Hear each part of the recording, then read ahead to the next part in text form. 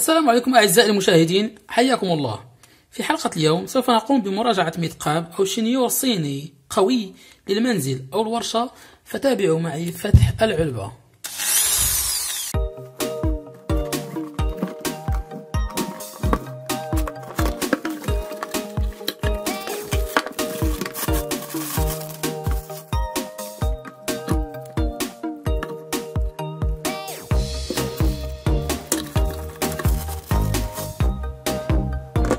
إذا تجدون في محتويات العلبة الأشياء التالية. إذا أولا دليل الاستعمال. كتيب. وإرشادات. زائد مفتاح لتثبيت الريش في مكانها. وزائد carbon brush. هذه الكربونات أو ال brush آه، تقوم باستبدالها بالتي تتواجد داخل الشنيور ولكن بعد مدة من الاستعمال. وأخيرا لدينا الشنيور نفسه. إذا عند الاقتراب من الشنيور فهو يبدو من النوع القوي جدا في البلاستيك. لا يبدو بلاستيك رديء فهو بلاستيك ذو جودة عالية. هنا نوع من ال rubber والمطاط. هذا الأسود هو عبارة عن مطاط. ويأتي كذلك بالأزرار الاعتيادية. يوجد switch هنا لتغيير اتجاه الدوران. لاحظ ربما نجرب.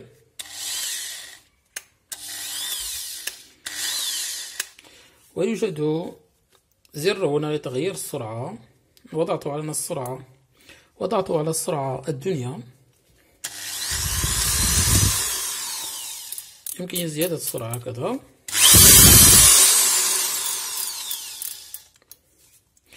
وزر السويتش لإقفال الحركة للاستمرار في الحركة. إذا أزرار اعتيادية ثلاثة أزرار كما تلاحظوا ومكان لتعليق الشنيور عند الانتهاء من العمل به. لتثبيت الريش في هذا الشنيور نحتاج إلى هذا المفتاح. وهو يعمل بطريقة عادية. دورات قليلة هكذا. ونقوم بشده تم تثبيت الريشة يمكنك البدء العمل بالشنيور إذا سرعة هذا الشنيور متغيرة ويمكن التحكم فيها بواسطة هذا الزر هنا.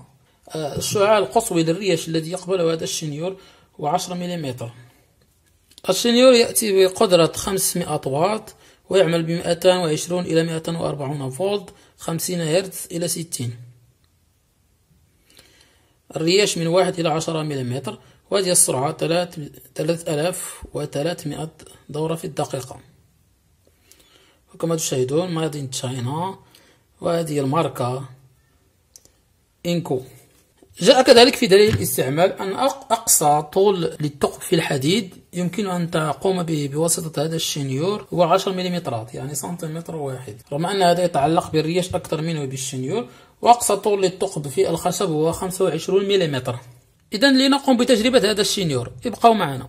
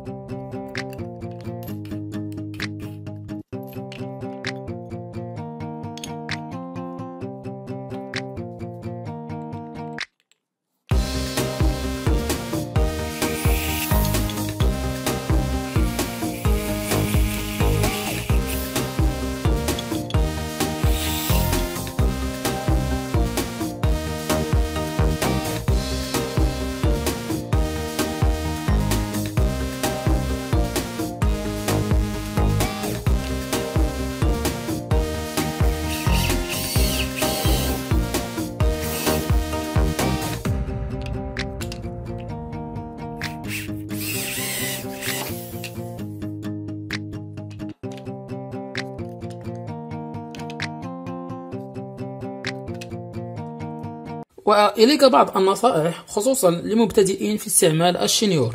عند ثقب المعادن استعمل دائما سرعة منخفضة. استعمل سرعة منخفضة لتثبيت واستخراج البراغي. دائما عند استخراج أو تثبيت البراغي استعمل سرعة منخفضة.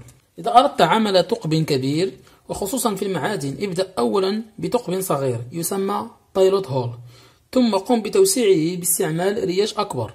إذا أصبح الشنيور ساخنا جدا قم بتبريده وذلك بتشغيله على السرعة القصوى وبدون جهد يعني دون تركيب أي شيء فيه وذلك لمدة 2 إلى 3 دقائق لكي تبرده المروحة الخاصة به. إذا إذا كنت من محبي إنجاز الأعمال المنزلية بنفسك فأكيد ستحتاج إلى شنيور مثل هذا منزلي وكذلك ستحتاج إن كانت لديك ورشة صغيرة في المنزل. فهذا المثقاب سيفيدك كثيرا في تقب الخشب والحديد وكذلك الإسمنت. نفس الشيء بالنسبة لتثبيت وتفكيك البراغي. إذا كان هذا كل شيء في هذا الفيديو. إذا أعجبكم الفيديو ادعمونا بزر لايك ولا تنسوا كذلك المشاركة في القناة. شكرا على المتابعة وإلى اللقاء في الحلقة القادمة إن شاء الله. السلام عليكم.